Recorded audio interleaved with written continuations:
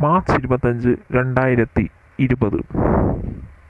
U എസിലെ ഹോസ്ഷൂ ലേക്കിന് സമീപമുള്ള Snowden ബംഗ്ലാവിൽ നിന്നും പോലീസിന് ഒരു അലാരം ലഭിച്ചു. ഇത് കേട്ടതും പോലീസ് ആ ബംഗ്ലാവിൽ വന്ന് നോക്കിയപ്പോൾ കണ്ടത് ആ ബംഗ്ലാവിന്റെ ബാക്ക് ഡോർ ഓപ്പൺ ആയിരുന്നു. പോലീസ് അതുവഴി ബംഗ്ലാവിന്റെ അകത്ത് കയറി അവിടെ കണ്ടത് ആ ബംഗ്ലാവിന്റെ അവകാശിയായ മാർത്ത എന്ന സ്ത്രീ കൊല്ലപ്പെട്ടു.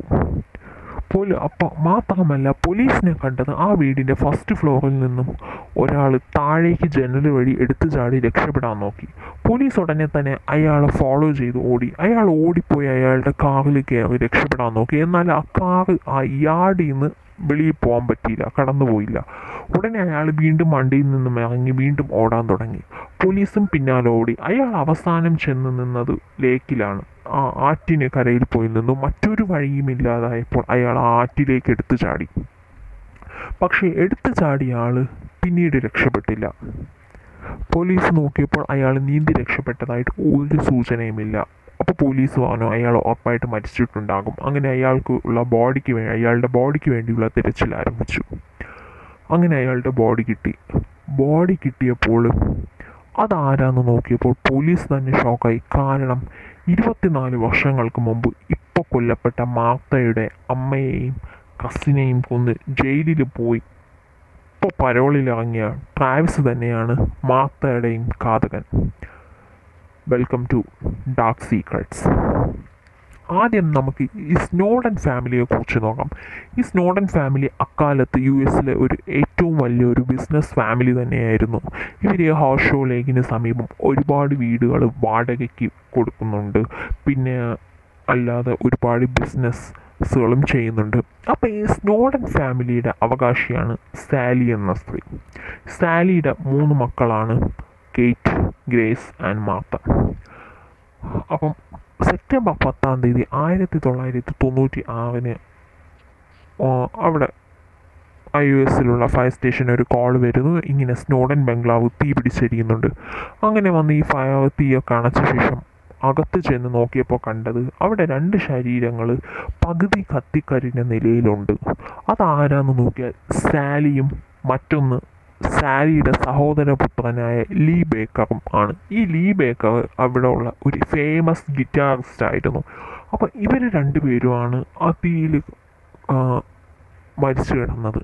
പോലീസ് ആദ്യം കരുതി ഇവർ രണ്ടുപേരുടെയും മരണം ഈ ഫയർ കാരണമായിരുന്നു അങ്ങനെ ശവശരീരങ്ങൾ കൈപ്പറ്റി ഓട്ടോപ്സിക്ക് വിട്ടു. എന്നാൽ ഓട്ടോപ്സി റിപ്പോർട്ട് മറ്റൊന്നായിരുന്നു. ഇവർ രണ്ടുപേരെയും ആരോ ഷൂട്ട് ചെയ്ത് കൊന്നിട്ടുണ്ട്. അതിനുശേഷമാണ് തീയരിച്ചത് ഉടനെ തന്നെ പോലീസ് ഫോർദറായിട്ട് ഇൻവെസ്റ്റിഗേറ്റ് ചെയ്യാൻ തുടങ്ങി. അപ്പം അവർക്കൊരു കാര്യം മനസ്സിലായി. ഈ വീട്ടിലുള്ള ഒരുപാട് പുരാവസ്തുക്കൾ വിലപിടിപ്പുള്ള ഒരുപാട് വസ്തുക്കൾ കാണാതായിട്ടുണ്ട്. ഒരുപാട് ഇമ്പോർട്ടന്റ് ഡോക്യുമെന്റ്സ് കാണാനില്ല. അപ്പോൾ ഇത് ഉറപ്പായിട്ട് ഒരു മോഷണ ശ്രമത്തിന് നടന്ന ഇടയിൽ നടന്ന മർഡർ ആകാനാണ് സാധ്യത. അതുമാത്രമല്ല ഈ സാലിയുടെ ഒരു കാറ് ഈ മർഡർ നടന്ന സ്ഥലത്തിൽ നിന്ന് ഒരു മൈൽ ദൂരത്ത് ഒരു മരത്തിലിടിച്ച് കിടപ്പുണ്ടായിരുന്നു. അപ്പോൾ അതിൽ നിന്നും പോലീസിന് ഫിംഗർ പ്രിന്റും സാലിയുടെ വീട്ടിൽ നിന്നും ഡി എൻ എയും ലഭിച്ചു. അങ്ങനെ ഈ ആധാരങ്ങൾ വെച്ച് കൊലയാളി അന്വേഷിക്കാൻ തുടങ്ങി. അങ്ങനെ ഇവരെത്തിപ്പെട്ടത് പതിനാറ് വയസ്സുള്ള ട്രാവിസ് എന്ന ഒരു ചെക്കന്റെ നേരെയാണ്. ഈ ട്രാവിസ് മറ്റാരുമല്ല ഈ കൊല്ലപ്പെട്ട സാലിയുടെയും ലീ ബേക്കറിന്റെയും മക്കളുടെ ഒപ്പം ഉള്ള ഫ്രണ്ടായിരുന്നു അങ്ങനെ പക്ഷേ ട്രാവിസിനോട് അന്വേഷിച്ചപ്പോൾ ട്രാവിസ് ഒരിക്കൽ ചോദ്യം ചെയ്തപ്പോൾ താനല്ല എന്ന് ട്രാവിസ് അവസാനം വരെ ഉറച്ചു നിന്നു. എന്നാലും ഫർദറായിട്ട് ഇൻവെസ്റ്റിഗേഷൻ ചെയ്തതിൽ ആ ഡി എൻ എയും ഫിംഗർ പ്രിന്റും ട്രാവിസുമായിട്ട് മാച്ചായി അങ്ങനെ ട്രാവിസിനെ കസ്റ്റഡിയിലെടുത്തു പക്ഷേ അവസാനം വരെ ട്രാവിസ് ഇത് താനാണ് ചെയ്തതെന്ന് സമ്മതിച്ചില്ല. എന്നാൽ വീണ്ടും വീണ്ടുമുള്ള ചോദ്യത്തിൽ മോഷണം ചെയ്തത് താനാണ്. എന്നാൽ അവർ രണ്ടുപേരെയും കൊന്നത് താനല്ല എന്ന് ട്രാവിസ് ഉറപ്പിച്ചു പറഞ്ഞു. പക്ഷേ തെളിവുകളെല്ലാം ട്രാവിസിനെതിരെയായിരുന്നു. അങ്ങനെ ട്രാവിസിനെ കോർട്ടിൽ കൊണ്ടുപോയി ജയിലിലുമായി. എന്ന് എങ്കിൽ പോലും ട്രാവിസ് കോർട്ടിലും താനല്ല അവരെ കൊന്നത്. മോഷണം ചെയ്തത് താനാണ്. പക്ഷേ അവരെ കൊന്നത് മറ്റൊരാളാണ് തന്റെ ഫ്രണ്ടാണ് എന്നൊക്കെയാണ് ട്രാവിസ് പറഞ്ഞത്. പക്ഷേ അതിന് ഒരു തെളിവും ആ വീട്ടിൽ മറ്റൊരാൾ വന്നതായിട്ടും ഒരു ഫിംഗർ പ്രിന്റോ ഡി എൻ എയോ ട്രാവിസിന്റേതല്ലാതെ ആ വീട്ടിൽ നിന്നും ആർക്കും ലഭിച്ചില്ല. അതായത് സാലിയും ലീ ബേക്കറും കൊല്ലപ്പെടുന്ന അന്ന് അവരുടെ വീട്ടിൽ വെച്ചൊരു പുതിയ ബിസിനസ് കാര്യം സംസാരിച്ചുകൊണ്ടിരുന്നപ്പോൾ ട്രാവിസ് അകത്ത് വരികയും മോഷണത്തിനിടയിൽ സാലിയും ലീ ബേക്കറും ട്രാവിസിനെ കാണുകയും അങ്ങനെ ട്രാവിസ് ഇവർ രണ്ടുപേരെയും തന്റെ കയ്യിലുള്ള ഗണ്ണുപയോഗിച്ച് ഷൂട്ട് ചെയ്ത് കൊല്ലുകയുമാണ് ചെയ്തത്. അങ്ങനെ ട്രാവിസ് ജയിലിലും ആയി. ട്രാവിസ് ജയിലിലായ ശേഷം ഈ സാലിയുടെ മക്കളിൽ ഒരുവളായ മാത്ത ട്രാവിസിനെ ഇടയ്ക്ക് പോയി കാണുകയും അവനോട് വീണ്ടും ഫ്രണ്ട്ഷിപ്പ് ഉണ്ടാക്കുകയും ചെയ്തു. മാത്ത വ- വിശ്വ അവസാനം വരെ ട്രാവിസ് അല്ല തന്റെ പേരൻസിനെയും ലീബെ കസിനെയും കൊന്നതെന്ന് അവസാനം വരെ വിശ്വസിച്ചിരുന്നു.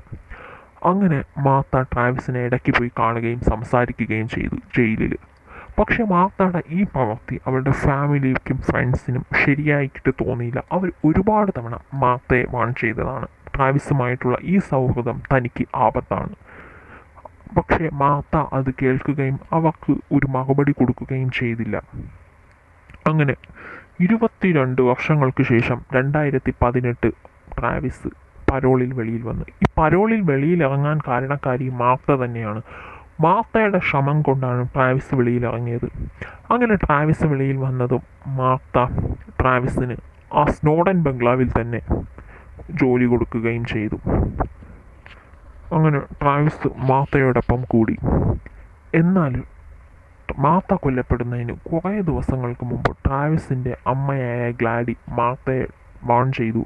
ട്രാവിസിൽ നിന്നും അകന്നു നിൽക്കുക. കാരണം അവൻ വീണ്ടും പഴയ ദിനങ്ങളിലേക്ക് പോയിക്കൊണ്ടിരിക്കുന്നു. അവൻ വീണ്ടും പഴയ തെറ്റ് ചെയ്യുന്നു.